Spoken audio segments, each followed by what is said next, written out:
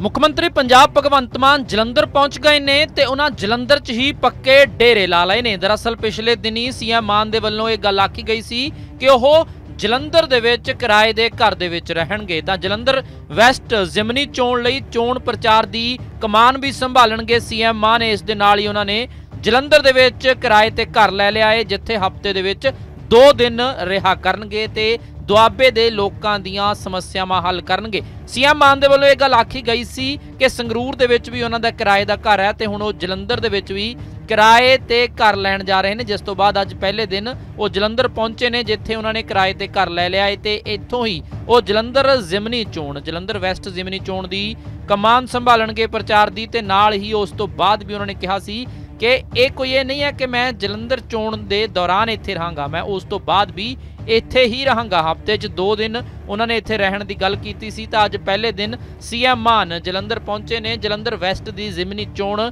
10 ਜੁਲਾਈ ਨੂੰ ਹੋਣੀ ਹੈ। 13 ਜੁਲਾਈ ਨੂੰ ਰਿਜ਼ਲਟ ਆਉਣੇ ਨੇ। ਇਹ ਵੀ ਇੱਕ ਵੱਡੀ ਚੁਣੌਤੀ ਹੈ ਆਮ ਆਦਮੀ ਪਾਰਟੀ ਦੇ ਲਈ ਲੋਕ ਸਭਾ ਚੋਣਾਂ ਹੋ ਕੇ ਹਟੀਆਂ ਨੇ, ਜਿਸ ਦੇ ਵਿੱਚ ਕਾਂਗਰਸ ਪਾਰਟੀ ਨੇ ਜਲੰਧਰ ਸੀਟ ਜਿੱਤੀ ਸੀ ਤੇ ਹੁਣ ਸ਼ੀਤਲ ਅੰਗਰਾਲ ਦੇ ਅਸਤੀਫੇ ਤੋਂ ਬਾਅਦ ਇਹ ਸੀਟ ਖਾਲੀ ਹੋਈ ਹੈ, ਜਿਸ ਤੇ ਜ਼ਿਮਨੀ ਚੋਣ ਹੋ ਰਹੀ ਹੈ। ਆਮ ਆਦਮੀ ਪਾਰਟੀ ਵੱਲੋਂ ਮਹਿੰਦਰ ਭਗਤ ਨੂੰ ਇੱਥੋਂ ਉਮੀਦਵਾਰ ਐਲਾਨਿਆ ਗਿਆ ਹੈ ਤੇ ਸੀਐਮ ਮਾਨ ਦੀ ਅਗਵਾਈ ਦੇ ਵਿੱਚ ਇਹ ਚੋਣ ਲੜੀ ਜਾ ਰਹੀ ਹੈ। ਚੋਣ ਪ੍ਰਚਾਰ ਦੀ ਕਮਾਨ ਸੰਭਾਲਣ ਲਈ ਸੀਐਮ ਮਾਨ ਜਲੰਧਰ ਪਹੁੰਚ ਚੁੱਕੇ ਨੇ, ਕਿਰਾਏ ਤੇ ਘਰ ਲੈ ਲਿਆ ਹੈ ਹਾਲਾਂਕਿ ਉਹਨਾਂ ਨੇ ਕਿਹਾ ਕਿ ਚੋਣ ਤੋਂ ਬਾਅਦ ਵੀ ਉਹ ਇੱਥੇ ਰਹਿਣਗੇ ਤੇ ਦੁਆਬੇ ਹਲਕੇ ਦੇ ਲੋਕਾਂ ਦੀਆਂ ਸਮੱਸਿਆਵਾਂ ਦਾ ਹੱਲ ਕਰਨਗੇ, ਕਿਉਂਕਿ ਲਗਾਤਾਰ ਪੰਜਾਬ ਦੇ ਵਿੱਚ ਗੱਲ ਕੀਤੀ ਜਾਵੇ ਤਾਂ ਮਾਲਵੇ ਤੋਂ ਸੀਐਮ ਬਣਦੇ ਰਹੇ ਨੇ ਤੇ ਹੁਣ ਸੀਐਮ ਮਾਨ ਨੇ ਦੁਆਬੇ ਵਾਲੇ ਪਾਸੇ ਜਾ ਕੇ ਵੀ ਲੋਕਾਂ ਦੀਆਂ ਸਮੱਸਿਆਵਾਂ ਹੱਲ ਕਰਨ ਦੀ ਗੱਲ ਆਖੀ ਹੈ। ਤਾਂ ਸੀਐਮ ਮਾਨ ਜਲੰਧਰ ਵੈਸਟ ਦੀ ਜ਼ਿਮਨੀ ਚੋਣ ਦੀ ਪ੍ਰਚਾਰ ਦੀ ਕਮਾਨ ਵੀ ਸੰਭਾਲਣਗੇ ਤੇ ਨਾਲ ਹੀ ਜਲੰਧਰ ਦੇ ਵਿੱਚ ਪੱਕੇ ਡੇਰੇ ਉਹਨਾਂ ਦੇ ਵੱਲੋਂ ਲਾਏ ਗਏ ਨੇ ਤੇ ਚੋਣਾਂ ਤੋਂ ਬਾਅਦ ਵੀ ਉਹਨਾਂ ਨੇ ਹਫ਼ਤੇ 'ਚ 2 ਦਿਨ ਇੱਥੇ ਰਹਿਣ ਦੀ ਗੱਲ ਆਖੀ ਹੈ। ਮੁੱਖ ਮੰਤਰੀ ਪੰਜਾਬ ਭਗਵੰਤ ਮਾਨ ਜਲੰਧਰ ਪਹੁੰਚ ਗਏ ਨੇ ਤੇ ਉਹਨਾਂ ਜਲੰਧਰ 'ਚ ਹੀ ਪੱਕੇ ਡੇਰੇ ਲਾ ਲਏ ਨੇ। ਦਰਅਸਲ ਪਿਛਲੇ ਦਿਨੀ ਸੀਐਮ ਮਾਨ ਦੇ ਵੱਲੋਂ ਇਹ ਗੱਲ ਆਖੀ ਗਈ ਸੀ ਕਿ ਉਹ ਜਲੰਧਰ ਦੇ ਵਿੱਚ ਕਿਰਾਏ ਦੇ ਘਰ ਦੇ ਵਿੱਚ ਰਹਿਣਗੇ। ਤਾਂ ਜਲੰਧਰ ਵੈਸਟ ਜ਼ਿਮਨੀ ਚੋਣ ਲਈ ਚੋਣ ਪ੍ਰਚਾਰ ਦੀ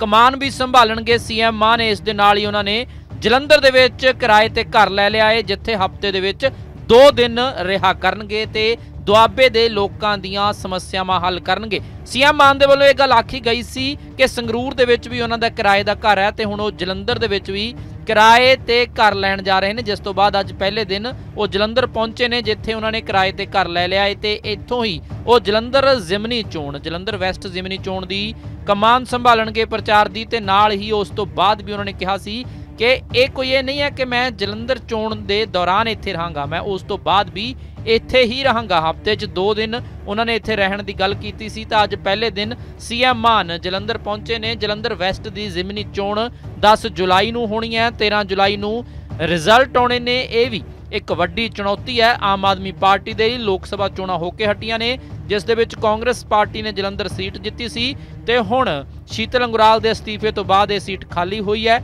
ਜਿਸ ਤੇ ਜ਼ਿਮਨੀ ਚੋਣ ਹੋ ਰਹੀ ਹੈ।